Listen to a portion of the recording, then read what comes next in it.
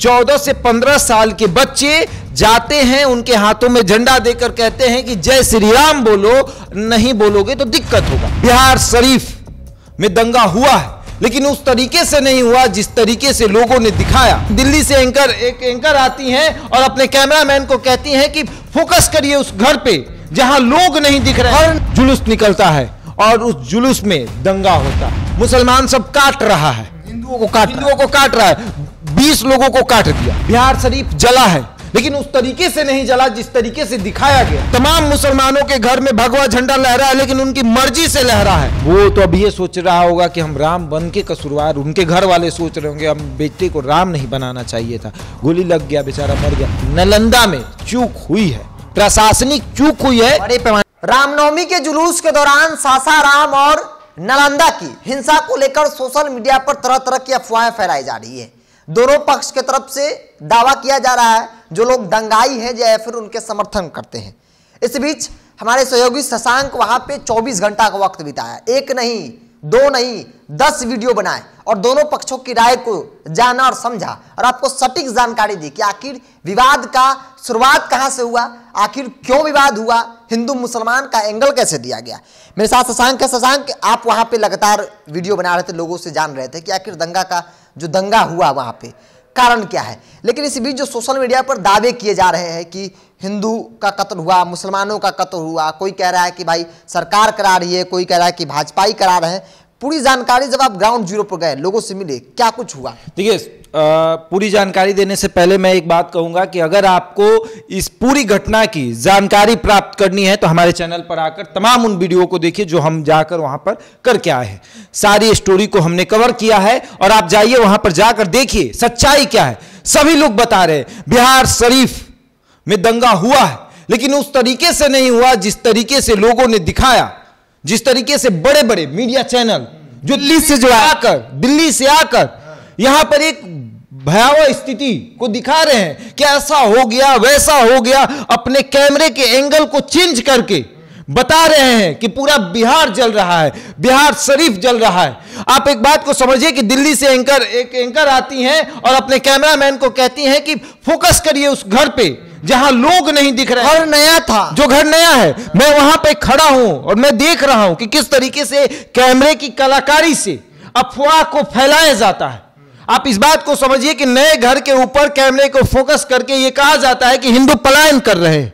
बिहार शरीफ से हिंदू पलायन कर आपने भी उस खबर को देखा होगा। आप लोगों ने भी देखा होगा। लेकिन यह खबर बिल्कुल बेबुनियाद है। पलायन कोई नहीं कर पलायन नहीं कर रहा। है स्थिति अभी पहले से बहुत अच्छी है। तनावपूर्ण स्थिति तनावपूर्ण बिल्कुल थी। अब राम अब शुरू करते हैं। रामनवमी का पर्व ठीक है? जुलूस निकलता है और उस जुलूस में दंगा होता है और उसके बाद उसको हिंदू मुस्लिम का ये दे दिया जाता दे दिया। एंगल दे दिया जाता है। उसके बाद घर दुकान मकान सब कुछ जल जाते मस्जिद मदरसा सब कुछ जलता है। कुरान जलता है। और दिल्ली में बैठे मीडिया हाउस बड़े बड़े मीडिया हाउस इसको एक बहुत बड़ा एंगल देते हैं। बिहार जल गया बिहार जल गया। पलायन कर रहे हैं मुसलमान। नहीं हिंदू पलायन कर रहे हैं। मुसलमान बहुत कम देखे होंगे। मुसलमान के डर से हिंदू पलायन कर रहे हैं। टीवी चैनल पर मैंने देखा मैंने क्या चला रहे हैं? मैं वहाँ से आया हूँ। मैंने वहाँ की तमाम चीज़ों को वहाँ की स्टोरी को मैंने कवर किया। और उसके बाद मैं जब टीवी पर मैं आकर बैठ रहा हूँ मैं देख रहा हूँ जब अपने घर पे जाकर टीवी को ऑन कर रहा हूँ मैं मैं तो यहाँ से आ रहा था ऐसा तो नहीं हुआ था यहाँ पर। मैं जब बिहार शरीफ से बाहर निकला रास्ता भटकते भटकते तो एक व्यक्ति मुझे मिला मैंने कहा कि कहाँ जाएगा? तो कह रहे हैं मत जाइए मुसलमान सब काट रहा है। हिंदुओं को काट हिंदुओं को काट रहा है। बीस लोगों को काट दिया। मैंने कहा ऐसा कुछ नहीं है मैं वहीं से आ रहा हूँ स्टोरी कवर करके आ रहा हूँ सब कुछ अच्छा है। उसके बाद जब मैं वहाँ से निकला तो एक चाय की दुकान पर रुका वो कह रहा है कि भैया बिहार शरीफ में 200 लोगों को काट दिया। पचास बीस से दो सौ। दो समझिए कि डिस्टेंस बढ़ता जा रहा है। पटना में किसी से पूछेगा वो कह देगा दो हज़ार लोगों को काट दिया गया। अफवाह है। तमिलनाडु की तरफ़ बिल्कुल अफवाह है अफवाहों पर ध्यान ना दे। बिहार शरीफ जला है लेकिन उस तरीके से नहीं जला जिस तरीके से दिखाया गया। बिहार सबसे बड़ी बात दंगा हुआ। लेकिन मस्जिद पे पत्थर चले हैं। बिल्कुल। पेट्रोल बम फेंके गए हैं। मदरसे में पेट्रोल बम फेंके गए हैं। ये ये ये बिल्कुल सच्चाई है। शशांक एक सच्चाई और है हमने वीडियो में देखा कि जो हिंदू और मुसलमान की बात कही जा रही है ये सच्चाई है। इस बात को कोई इग्नोर नहीं कर सकता। दंगे हुए हैं इस बात को कोई जुटला नहीं सकता।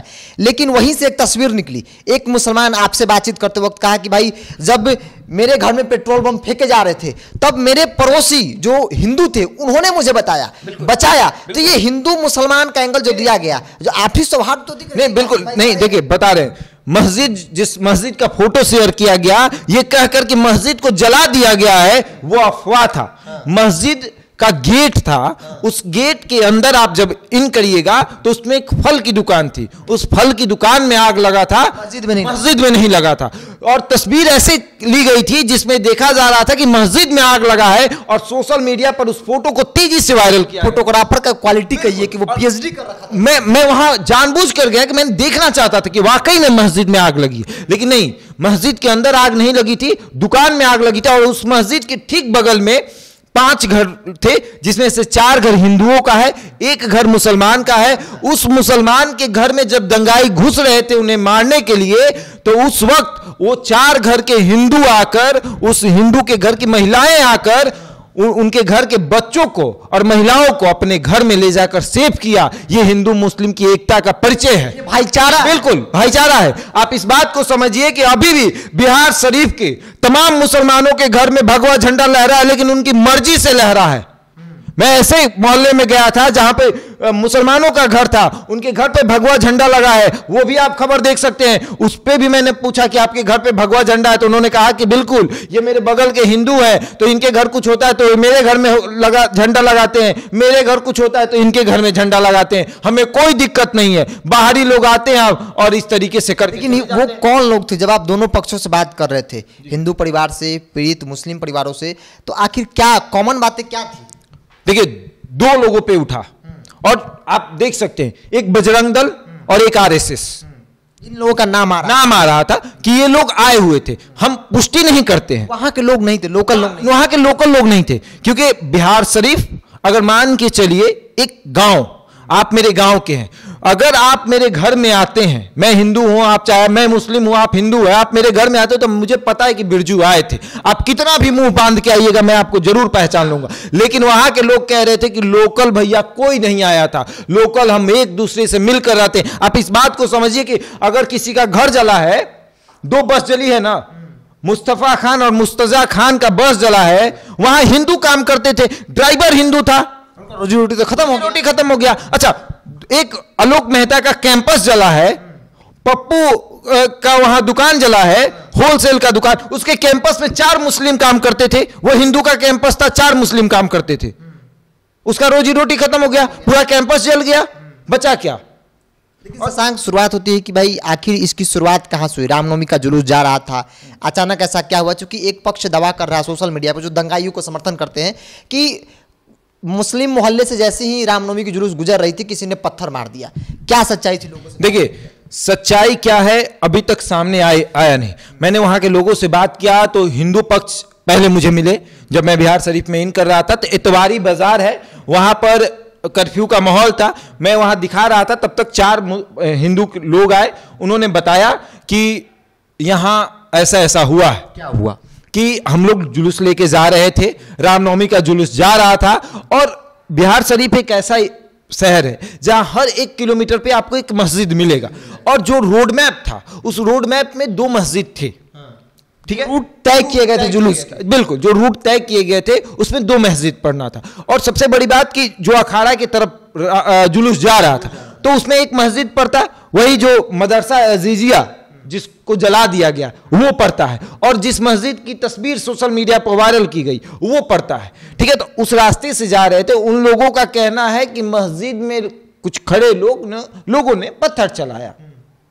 हिंदू पक्ष का कहना मुसलमान पक्ष का कहना है कि हमारे तरफ़ से कुछ लोग बिहार शरीफ के बस स्टैंड के पास जल पिला रहे थे पानी पिला पिला रहे थे। शरबत पिला रहे थे और उस वक्त 14 से 15 साल के बच्चे जाते हैं उनके हाथों में झंडा देकर कहते हैं कि जय श्री राम बोलो नहीं बोलोगे तो दिक्कत होगा। वो लोग नहीं बोलते हैं और उसके बाद वहीं से मामला शुरू हो जाता है। लेकिन हम हम कह रहे हैं कि हम इसका दावा नहीं करते पुष्टि भी नहीं करते क्योंकि जहाँ जहाँ ये बातें उठी हैं हिंदू पक्ष कह रहा है कि जो पत्थर चला है अब मुस्लिम पक्ष जो कह रहा है कि जय श्री राम के नारे लगाए वो दोनों जगहों पर सीसीटीवी है। कैमरे लगे हैं। हर मस्जिद के बाद नए कैमरे हैं काम कर रहे हैं। तो प्रमाण तो है। मिल जाएगा। बहुत जल्द प्रमाण मिलेगा और कार्रवाई भी होगी। लेकिन जिस तरीके से अफवाह फैलाए जा रहे अफवाहों पर ध्यान मत दीजिए। जो सच्चाई है सच्चाई यह है कि बिहार शरीफ जला ज़रूर है। लेकिन उतना नहीं जला जितना दिखाया जा रहा है। पलायन का दावा किया जा रहा है कि एक पक्ष पलायन बिल्कुल गलत है। और सबसे बड़ी बात मदरसा जला है। इस बात की मुझे भी तकलीफ़ है क्योंकि जिस तरीके से मेरे लिए रामचरितमानस है हिंदुओं के लिए उस तरीके से मुसलमानों के लिए कुरान है। और कुरान जब जला तो उन्हें तकलीफ़ हुई है। तो होगी। चार हज़ार कुरान जला है। सौ साल पुराना किताब जला है। आप इस बात को समझिए कि उस मदरसे की स्थापना 1910 में हुई थी। 1930 में सरकार द्वारा परमिशन मिला और 2023 में उसमें आग लगा दिया गया। इसमें एक एक तस्वीर जो निकली और एक चर्चा जो है कि एक बच्चे की भी मौत हो गई बिल्कुल एक बच्चे की मौत हुई है। जो राम बना था। जिसने राम की भूमिका निभाई जो राम बना था। को निभा कैरेक्टर प्ले कर रहा बच्चे का क्या कसूर था? उस मासूम बच्चे का क्या कसूर उस बच्चे का कोई कसूर नहीं था। उस बच्चे का आ, वो तो अभी ये सोच रहा होगा कि हम राम बन के कसूरवार उनके घर वाले सोच रहे होंगे हम बेटे को राम नहीं बनाना चाहिए था। गोली लग गया बेचारा मर गया। और एक बुज़ुर्ग के मरने की खबर है दो लोगों की मरने की खबर है पुष्टि हालाँकि नहीं हुई है। प्रशासन की तरफ़ से। प्रशासन की कार्यशैली को लेकर सवाल उठे कि प्रशासन ज़ीरो थी। वहाँ पे जो प्रशासन का रोल होना चाहिए था वो कुछ नहीं था। कौन बातें प्रशासन को लेकर यही थी दोनों पक्ष की तरफ़ से। ये प्रशासन नाम की कोई चीज़ ही नहीं थी वहाँ पे। देखिए इस बात पे हम बिल्कुल कहेंगे। बिहार के मुख्यमंत्री नीतीश कुमार हमेशा कहते हैं कि प्रशासनिक व्यवस्था मेरी बहुत मज़बूत है और हालाँकि हुई भी। यूएसपी रही है उनकी कानून व्यवस्था। लेकिन लेकिन नलंदा में चूक हुई है प्रशासनिक चूक हुई है बड़े पैमाने पे हुई। बड़ी पैमाने पर वहाँ जब मैंने लोगों से बात किया मैं लोग से मैं पूछ रहा था क्यों हुआ? पहला मेरा सवाल था कि ये कैसे हो गया? तो उन्होंने कहा यहाँ के एसपी डीएम को चेंज करिए। यहाँ के एसपी और डीएम बहुत ही बेकार हैं। पहले भी ऐसा हुआ है लेकिन पहले के जो एसपीडीएम थे बहुत अच्छे थे। इस बार के एसपीडीएम को यह पता था कि रामनवमी में ऐसा कुछ होगा लेकिन जानबूझकर चार लेडीज़ कांस्टेबल को आप जुलूस को संभालने के लिए भेज देती हैं ऐसा कुछ पाए उन लोगों से कंट्रोल होगा? चार महिला पुलिस क्या कर पाएँगी? महिला पुलिस कितना भी बहाल कर लीजिए जुलूस नहीं संभल पाता है महिला पुलिस पुलिस से। आप आप और जगहों की तस्वीर देखिए। कितना पुलिस बल है तैनात? आप कितना पुलिस बल तैनात है जुलूस को संभालने के लिए? तो पुलिस बल की तैनाती होनी चाहिए थी। जब आपको पता है कि रूट जो बना है उसमें मस्जिद पड़ेगा उसमें मदरसा पड़ेगा कुछ ऐसा हो सकता है मुस्लिम का इलाका भी पड़ेगा तो आपको पुलिस की बहाली करनी चाहिए थी। वहाँ पुलिस व्यवस्था को बहाल करना चाहिए था। वहाँ पर जिस तरीके से अभी तैनाती की गई है बिहार शरीफ में जब मैं गया तो लगभग तीस जगहों पर मुझसे छावनी बन गई है। बिल्कुल। हर दस मिनट पर आपको सायरन का आवाज़ सुनाई देगा। लेकिन उस दिन उस दिन इसके एक परसेंट पुलिस वाले वहाँ नहीं थे। ऐसा मैं नहीं, बल्कि वहाँ के लोकल लोग कह रहे हैं कि जितना पुलिस बल आज है, उतना पुलिस बल उस दिन उसका एक परसेंट भी नहीं था। और इसके दोषी कौन है? एसपी और डीएम है। तो उनसे सवाल तो पूछा जाना चाहिए। और डीजीपी साहब, मुझे लगता है कि बिल्कुल पूछेंगे। आप जब बहत्तर घंटे पे वहाँ वो जाते हैं, और उसके बाद लगातार पुलिस जो है वो पेट्रोलिंग कर रही है सायरन की आवाज़ सुनाई दे रही है। ग, ग, मतलब गाँव वाले कह रहे हैं ना वो जान वो पल जब आप बिहार शरीफ में घुसेगा तो आपके दिमाग में जानते हैं क्या चलेगा? आपके दिमाग में वो कोरोना टाइम का दौर याद आएगा। वो डर वो भय। वो डर। मैं देख रहा था कि एक महिला जा रही है। पुलिस वाला है कहा? वो इतना तेज दौड़ी इतना तेज दौड़ी। वो क्यों? वो डर के साये में जी रहे हैं। और वो डर क्या है? कि कुछ बाहरी लोगों ने और कुछ दिल्ली से आए मीडिया वालों ने इस तरीके से अफवाह फैलाया कि बिहार शरीफ आज डर के साय में जी रहा है। बिहार शरीफ डर के साय में जी रहा है। इसका सीधा कारण वहाँ की जिला प्रशासन है, चूँकि जिला प्रशासन मुस्तैदी से पहले से प्लान की हुई थी। चूँकि जुलूस के लिए रोड मैप जो तय किया गया था किस रूट से जाएगी, उस रूट में कई मस्जिद थे, कई मुस्लिमों के मोहल्ले थे और इस बात की शंका जो है पहले जताई जा रही थी कि कुछ हो सकता है, कुछ अनहोनी हो सकता है, कुछ लोग बाहर से आए हैं। व्हाट्सएप ग्रुप पे मैसेज जो है वायरल किए जा रहे थे। तमाम चीज़ों के मद्देनजर जो प्रशासन का रोल रहा, वो बिल्कुल भी ज़ीरो रहा। ये हम नहीं, बल्कि वहाँ के लोग कह रहे हैं। और सिर्फ़ ये मुसलमान ही नहीं कर रहे बल्कि हिंदू लोग भी बोल रहे हैं, जिन्होंने मुसलमानों के घर को बचाया, जिन्होंने मुसलमानों के बच्चों को अपने घर में पनाह दी, इसलिए जाके दंगाइयों से ये बच पाए। तो ये सवाल होना चाहिए बिहार के मुख्यमंत्री, चूँकि वो गृह मंत्री हैं। तो ऐसे में उनको भी जवाब देना चाहिए कि आखिर क्या कुछ अपडेट आया? चूँकि गिरफ्तारी जो हुई है, जो खबर आ रही है कि ज़्यादातर लोग बाहरी हैं तो फिर सवाल है कि अगर बाहरी है तो पुलिस क्या कर रही थी? अगर बाहरी है अगर घटना को अंजाम दे दिया गया, हिंसा हुई तो फिर बड़े अधिकारियों पर कार्रवाई क्यों नहीं? इन सवालों के साथ आपको छोड़ जाते हैं, देखते रहें टॉप नमस्कार।